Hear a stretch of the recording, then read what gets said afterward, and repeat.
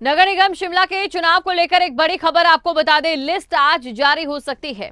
कांग्रेस प्रदेश अध्यक्ष Pratibha Singh press conference करेंगी। हर्षवर्धन सिंह चौहान के साथ प्रतिभा सिंह प्रेस कॉन्फ्रेंस करेंगे। तो चलिए सीधा आपको लिए चलते हैं। प्रतिभा सिंह इस समय प्रेस कॉन्फ्रेंस कर रही हैं।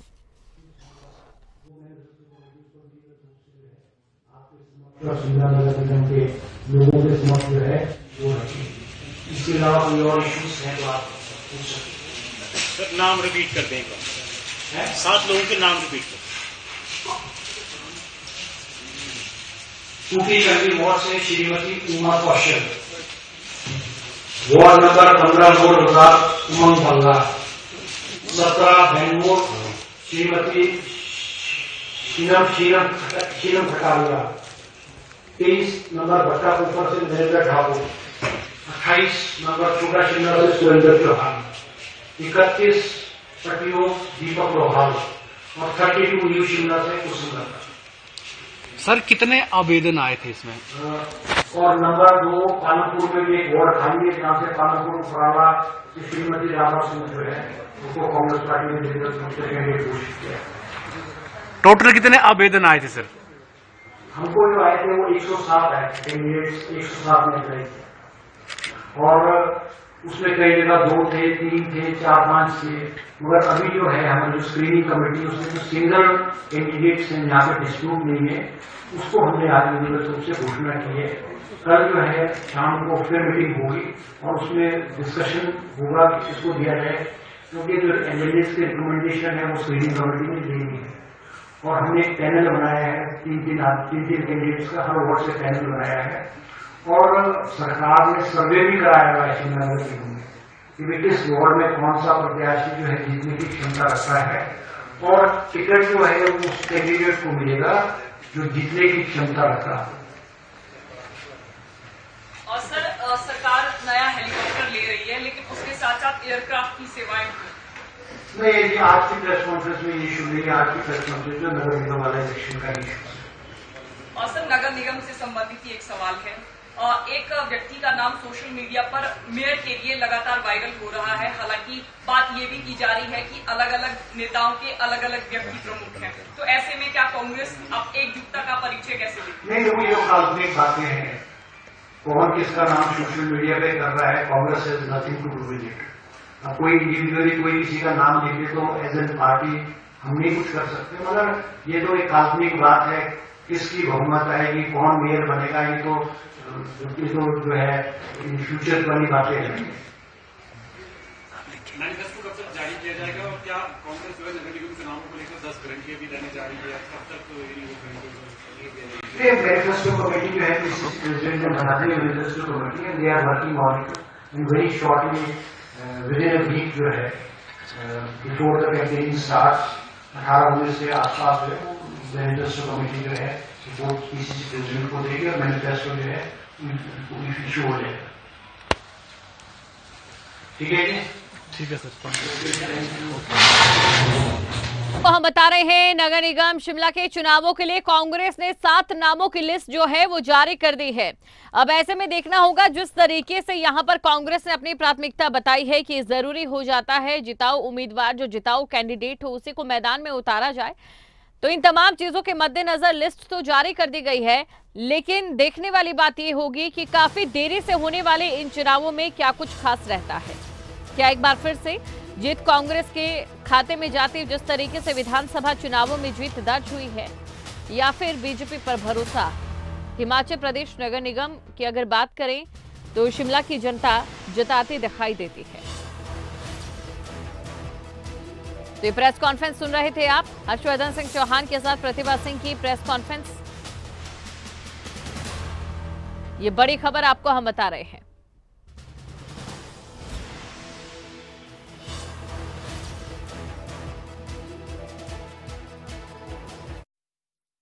खबर आपको हम बता रहे हैं और साथ ही आपको ये भी जानकारी दे दें, क्योंकि देखिए, काफ़ी अहम है शिमला नगर निगम के चुनाव।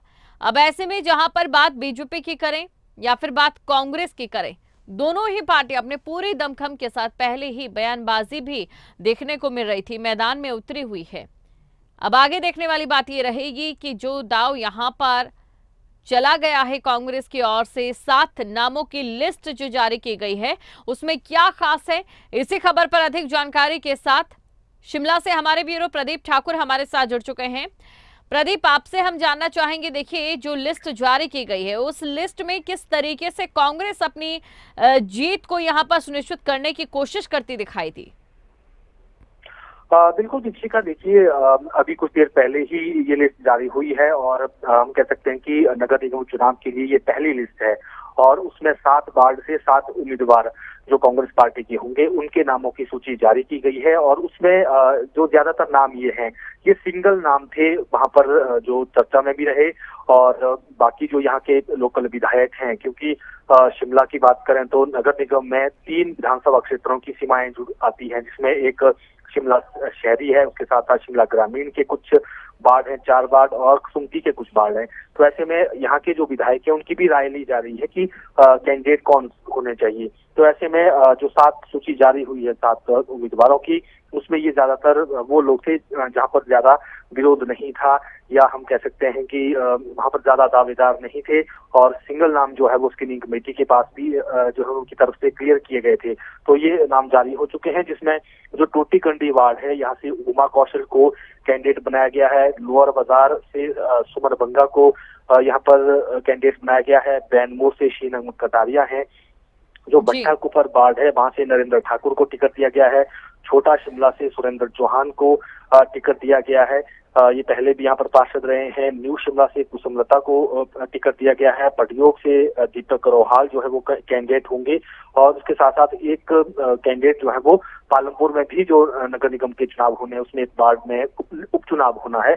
और उनके लिए भी एक कैंडिडेट जो है वो उनकी यहाँ पर सूची में उनका भी नाम है। तो ऐसे में अभी केवल सात वार्ड की अगर शिमला नगर निगम की बात करें तो उनकी ही सूची जारी हुई है।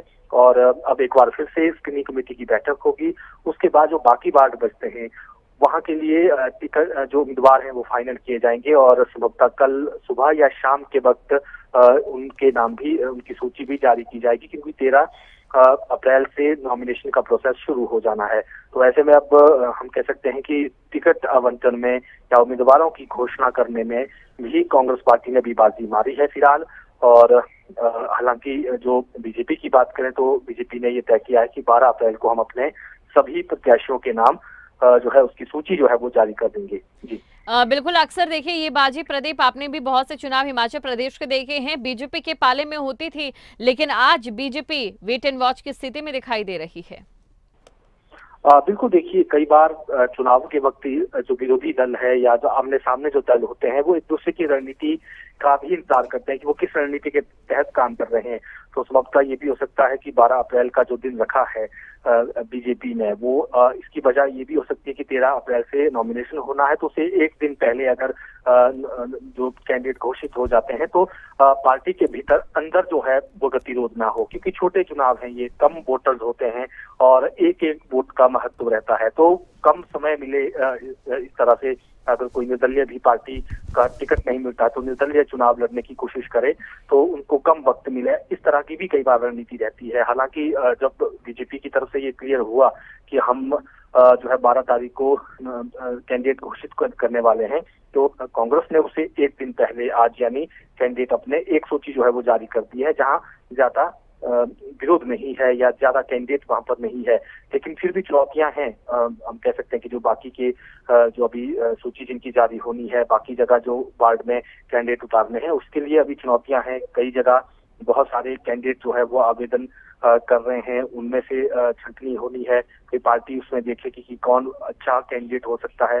जो हर्षवर्धन चौहान है स्क्रीनिंग कमेटी के चेयरमैन उन्होंने अभी ये भी जानकारी दी कि हमने एक इंटरनल सर्वे भी पार्टी का किया था। उसके आधार पर हमने पाया कि अच्छे कैंडिडेट कौन हो सकते हैं, उनको ही टिकट जो है वो देना है। तो ये तमाम चीज़ें हुई है। अब हम कह सकते हैं कि तेरह अप्रैल से जब नॉमिनेशन का प्रोसेस शुरू हो जाएगा तो फिर आमने सामने की टक्कर जो है यहाँ होगी जी। अ, बिल्कुल शुक्रिया प्रदीप तमाम जानकारी को दर्शकों तक पहुँचाने के लिए। तो देखिए काफ़ी खास यहाँ पर नगर निगम के चुनाव रहने वाले हैं। इस बार बीजेपी भले ही वेट एंड वॉच की स्थिति में नज़र आ रही हो लेकिन देखिए मेहनत जो है दोनों पार्टियों की इस समय देखी जा सकती है।